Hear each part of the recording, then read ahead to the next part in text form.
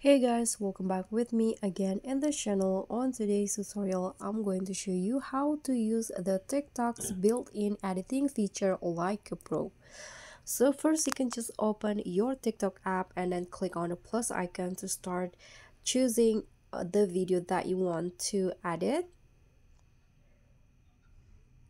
Okay, I'm going to select a video first.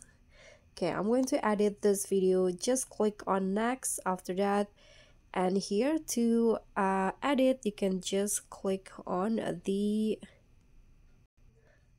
this icons right here the edit icon click on that and there will be this editing uh, built-in editing feature on the TikTok. So first you can do uh, the first thing that you can do is just go to where your uh, first sentence and in the video. Okay for example I'm going to just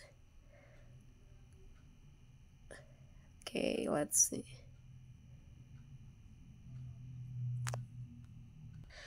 Okay in here click on the video and split it. So after that you can go to where the uh where the second sentence will start okay i'm going to just listen to it first.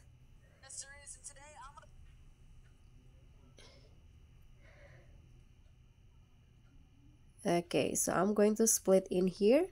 Then you're going to need the uh split sorry delete this part because this is the let's call it a blank space. So let's delete this click delete.